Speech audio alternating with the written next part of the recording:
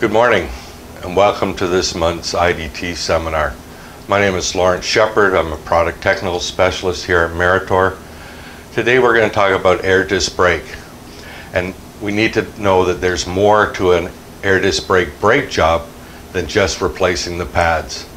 So we're going to look at some of our inspections areas that we think are very important and then we need to look at how to do an actual brake job and replace the pads.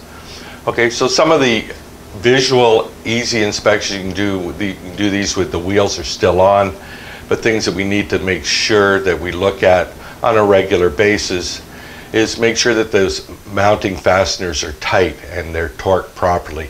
Make sure that the air chamber fasteners are also uh, torqued. You know, the air chamber needs to be properly sealed onto that caliper because it's an area where we can get moisture migrating inside the caliper if we don't have those seals secure and in place. And also the adjuster stem cap. The rubber cap that is over top of that adjuster needs to be in place and properly installed. Again, an area where we could get moisture migrating into that caliper. We also need to look on a regular basis as our visual wear indicator. Um, this is a unique indicator to Meritor. Uh, again, you can look at that with the wheels still on, just you know, use a flashlight, shine it up in there, and have a look at that indicator. That indicator is broken down into 25 degree increments. So as it gets shorter, the pads are wearing, the rotor's wearing, so we need to make sure that we look at it so we know when to take those wheels off and do a further inspection. Our recommendation is if you have 75% wear or greater, then you need to have a look at those pads. You need to take the wheels off. You need to make a further inspection. So another thing that we can do just to make sure that the unit is functioning properly, we can do a adjuster check. Uh, we can make sure that our automatic adjuster is functioning properly and working well. Again, we can do that with a dial indicator. All we have to do is mount that on the axle and then put the pin of the indicator up against one of the cap ends and then take some measurements. So if we push it all the way out and then zero it and then pull the caliper unit all the way back in, we'll get our measurement. Ideally, we're looking for 60 thousandths of an inch. We have 30 thousandths of an inch clearance between the friction and the rotor surface, and since we have two pads, we have a total of 60 thousandths we allow up to 20 thousandths of an inch variance on that. So if you're under 80 thousandths of an inch, everything should be good. If you're over 80 thousandths of an inch, you should perform an automatic adjuster check. And that's very simply done. And we will show it to you here, how we have done the clearance check, a little video that just again shows you we have it mounted onto the axle, the pin is in place on the cap, and then we're just going to move that unit forward and back and we're going to get our total measurement. All right, again, we're looking for ideally 60 thou, but we'll allow up to 80 thou. If we have more than 80 thousandths of an inch, you want to check to make sure your automatic adjuster is functioning correctly. So that's simply done by using a 10 millimeter wrench and putting it on the adjuster screw.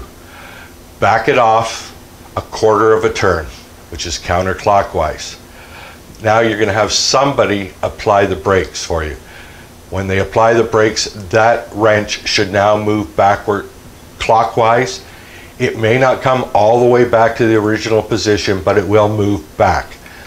The other thing now you have to do is when the brakes are released, keep your eye on that wrench. It should not move at all. If it comes back up towards the unit counterclockwise.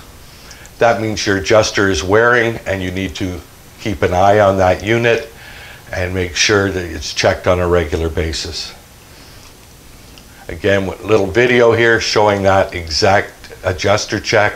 Again, very simple procedure. Here we are putting that 10 millimeter wrench onto that adjuster screw, backing it off. Now we've applied the brakes. You see how it came back down and you'll see that when the brake pressure is released, it did not move. That means your adjuster is functioning 100% correctly. So now we're going to look at it and say, okay, we're going to do a pad replacement. We've looked at that indicator. We're at 75% wear. We went in and had a quick look, and our pads were down. You know, and and it's it's not a brake job is not complete by just replacing the pads. There are other factors we have to look at. There are things we have to do. So when we talk about that, just doing a pad replacement, yes, it's easy but if you're going to do a complete job, you're going to do other things. And that's what we're going to talk about now. So again, a ni nice little video just shows you how to do a pad replacement. You know, we're doing do a quick pad change. We're going to back off the unit. Remember, we got to back it off all the way because we're now going to put new pads in, which are thicker than the old pads. So we back that all the way off. We take that retaining bar off remove the clips, remove the old pads, put the new pads in and reassemble it, put that retaining bar back on, and then just adjust it up and then back it off a half a turn. We've set our clearance. That is an easy pad replacement. One of the things we have to also remember, and this is just to help you because I know you're not all working on Meritor units, you could be using a Bendix unit. On our setup, you can just connect directly to the adjuster screw and back it off or, or set it and put it forward. But if you're looking at a Bendix unit, remember to always use the shear nut that is supplied. And there's a good reason for that. If you do a quick comparison, you will see the two differences in the way the adjusters work. Where the Meritor one is centrally loaded and it's big robust gears that's why we can put that wrench directly on and we don't have to be concerned about over torquing it the Bendix unit is a little more delicate and because of the way it's set up they limit the amount of torque you can use to move that adjuster. That's why they want that shear nut. So always make sure when you're working on that Bendix unit you're using that shear nut in place to do any adjustment. As a rule of thumb, we recommend that when you're working on a unit, you remove the outer pad first. That will now allow you to push that caliper back and make a nice big opening to take out that inner pad. Because where the inner pad sits is also where you have your boots. Your piston boots and your slide pin boots are located in that area and that just gives you a little more freedom of room so you're not going to cause any damage to those boots as I said, you want to inspect them for, you know, uh, uneven wear, tapered wear. Uh, inspect them to look at the quality of the friction, how it looks, and also make sure you're using those uh, pads to their full limit. problem we have today is we've worked on shoes for so many years, and we always say, well, when a shoe gets down to a quarter of an inch of lining, it's got to be replaced. Where a disc pad could be run down much thinner. It's a different way of fastening those pads to that backing plate, which allows you to do this. There are different rules of thumb. You know, here at Meritor, we will say three millimeters. Uh, other competitors have different measurements. You know, CVSA, they say a 16th of an inch or 1.6 millimeters is the maximum allowable wear they, they offer. So again, I kind of use a rule of thumb. If it's thinner than a nickel, it definitely needs to be replaced. But make sure you're getting the full life out of those pads. And when you're looking at the tapered wear, you know, there's two measurements you're concerned about. End to end, you're looking at 118 thou difference. Top to bottom, you're looking at 78 thou difference. Those measurements are critical, and I will explain a little bit later where those measurements come from we've got our pad out, we're looking at different things. So now we want to check. Say we had that uneven wear. Um, and we want to make sure that the caliper is functioning properly and we don't have any wear in our bushings or problems with our pins. So we can do a lateral wear check. Again, very simple to do. We just can hook it up onto the hub and put it up against the unit with a dial indicator. We're going to move it side to side and we're going to look for that total uh, movement of that unit. So again, I can show that to you in a video here where we've done that. We have it up against the bridge area. We're rocking it back and forth, side to side. We're getting that movement and we are looking for, again, under 118 thousandths of an inch. If it's greater than that, we're going to have to move along and check the bushings or the pins to see if we have wear, which is causing that uneven pad wear. We can do the exact same thing for that radial wear where we're looking at 78 thousandths of an inch movement. Again, we can just mount that uh, dial indicator onto the hub and then we can put the uh, pin from the indicator on the top of the bridge. We want the spacing between the rotor and that bridge to be about three quarters of an inch. Again, now we're going to rock that unit up and down and we're going to take that total measurement. Again, we want it to be under 78 thousandths of an inch. Again, a little video here showing how that was done. You can see where the dial indicator is mounted. And then we check in that measurement, make sure we got the proper distance from the rotor to the bridge area, and then we're gonna rock that unit up and down, up and down. Get that total measurement. Again, we are looking for under 78 thousandths of an inch. So why do we have those tolerances? Why do we have the 118 thou and the 78 thousandths of an inch movement tolerances? It is the way that we control the slide pin distortion. Okay, if you were to think about the pins themselves, they're fastened at one end of the pin. Just like anytime you have heat involved, metal can expand. So those pins could actually start to separate and move out on a slight angle because of that heat distortion. This oval design that we have on our short pin allows that freedom of movement. Okay, it stops the unit from binding up on itself. It makes sure it still floats freely back and forth.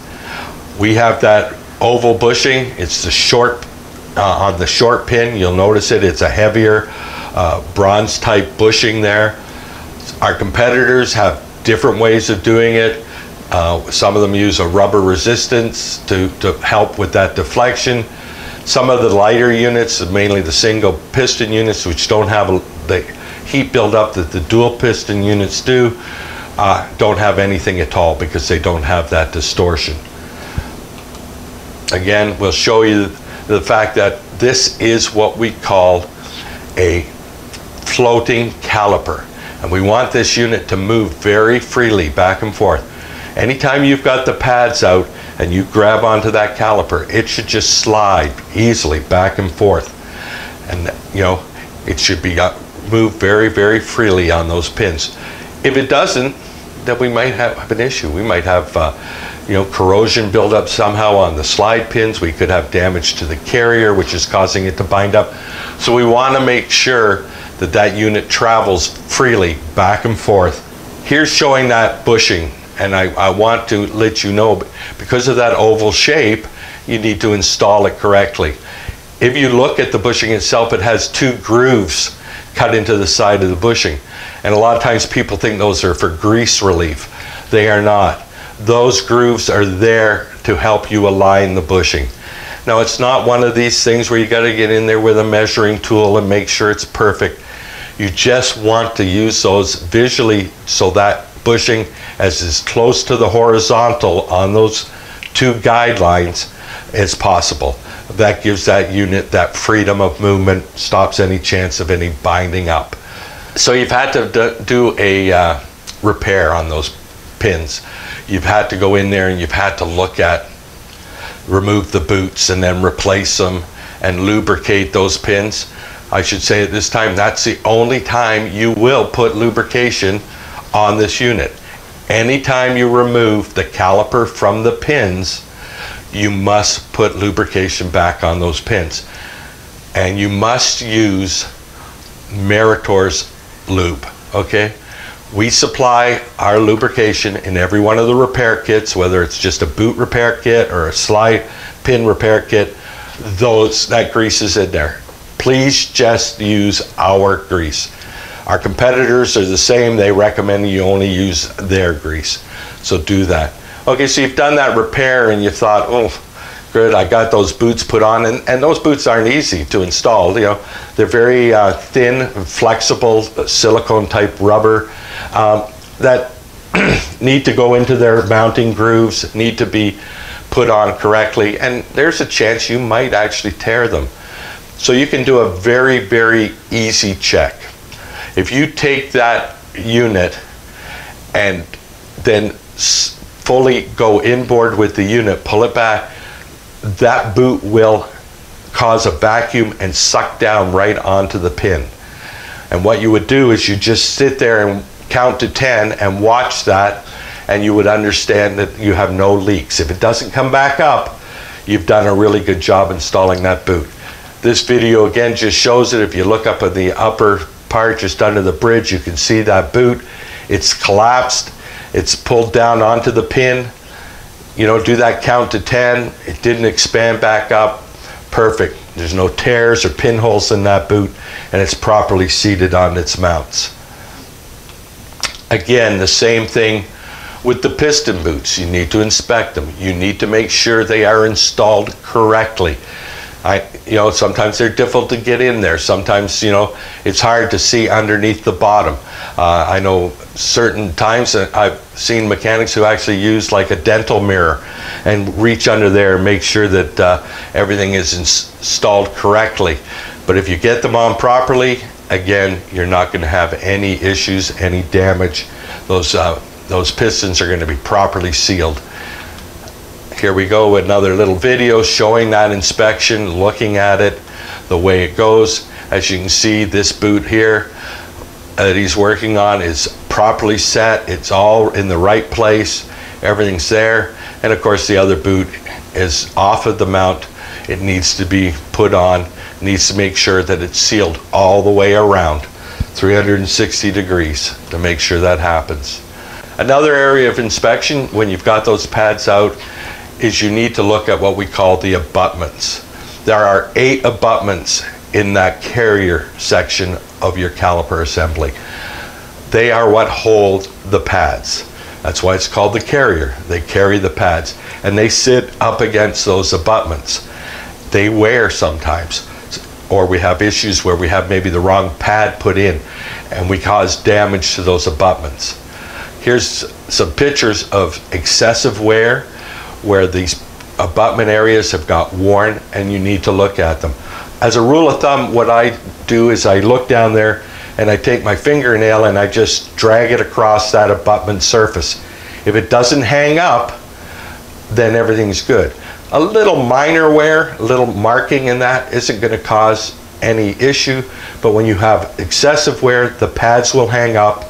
They will cause uneven wear on the pads they could also cause noise issues. There's many different things. So make sure you look at those abutments, make sure you check and make sure they are good, clean, and will allow the pads to slide freely.